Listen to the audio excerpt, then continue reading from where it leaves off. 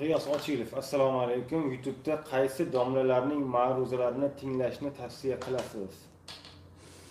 Endi youtube kanali bo'yicha e, man hali unaqa mutaxassislik yoki o'rganib keng fikrda bir e, tahlil qila oladigan fikrni berolmayman lekin bu savol ko'pincha shunga o'xshagan savollar kimni suhbatini eshitsak bo'ladi kimning gaplariga ergashsak bo'ladi din ma'nosida degan savolning umumiy qoidalari bor.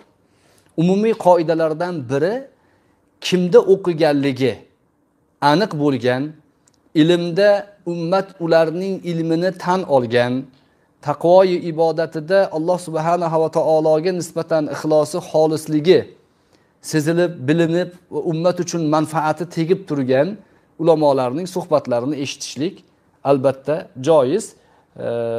Lekin o'sha dindan siyosiy maqsadda foydalanadiganlar shariatni gapirib shariatning e, xulosasiga kelganda qo'lingga qurol olishing kerak xilofatni o'rnatishimiz kerak falon siyosatchi kofir piston siyosatchi xoin degan kalimalar bilan bu yodlab olingan kalimalar bilan sizni ilk dinga bo'lgan qiziqishingizni siyosiy o'zanga solib yuborishlikka urinayotganlardan ehtiyot bo'lish kerak. Ularning ilmiy saviyalari o'sha asl ustozlarini kim ekanligini ilmda bir maqomi yo'q qandaydir maqomi bor ekanligini isbotlab bera olmaydigan odamlar. Ikki oyat qur'on o'qisa hadisdan bir ma'no aytaman desa ma'lum bo'ladi. Aslida sal biroz ilmi bor odamlarga.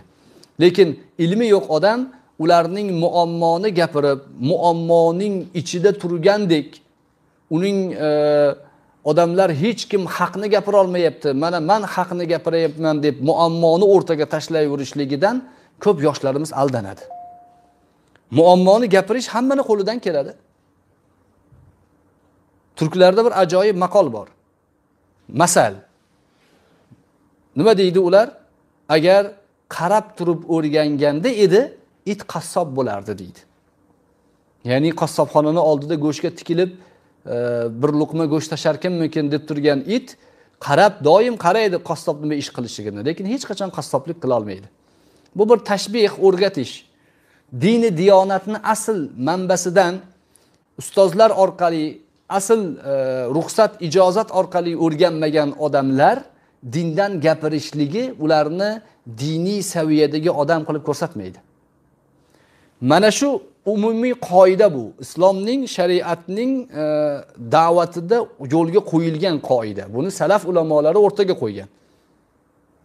Bekorga san'at ilmi ro'barovga chiqmagan. Bekorga ustoz shogird an'analari e, o'rtaga qo'yilmagan. Bekorga ustoz shogirdga ijozat beradi muqriy qiladigan qoriy qiladigan qur'on e, hofizlari shogirdlariga alohida ta'lim berib san endi o'qitsang ham bo'ladi o'qisang ham bo'laveradi deb bekorga bu e, tartib usul yo'lga qo'yilmagan. Chunki islomning asli islomning e, manbasi shundan iborat. Mana shu gaplarni e, obro'siga tajovuz qilib mana shunga o'xshagan islom asoslarini o'rganishlikdagi tarixiy bir ming to'rt yuz yillik karvonga tosh otishlik uchun bu karvonni yo'lini e, ya'ni noto'g'ri qilib ko'rsatishga uringan ba'zi hizbga o'xshagan toifalar bu gapni ustiga e, noto'g'ri to'n kiydirishyapti. Ya'ni yomon ko'rsatish uchun. Nima emish rasmiy diplomi bo'lmaganlar gapirmasin deyapti deydi bittasi. Kim aytdi buni rasmiy diplomi bo'lmasa gapirmasin degan gapni? Va rasmiy diplom deganda e, qaysidir institutni yoki universitetni gapini e, bulg'ab o'shanga urg'u berishligini kim aytdi? Rasmiy diplom deganda o'sha o'qiganligiga haqiqatda hujjati bo'lishi kerak degani bu. Kimda o'rgangan kimda o'qigan? Imom buxoriyni asosiy shartlaridan biri shu.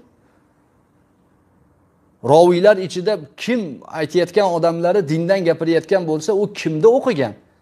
Bu hadisni kimdan eshitgan? Buni tekshirishlik buni bilgan odamdan hadis olishlik shart. Buxoriyni shartlari bu. Imom muslimni alohida shartlari bor. Imom termiziyni alohida shartlari bor. Din ma'nosida albatta ustoz kim ekanligini bilish vojib.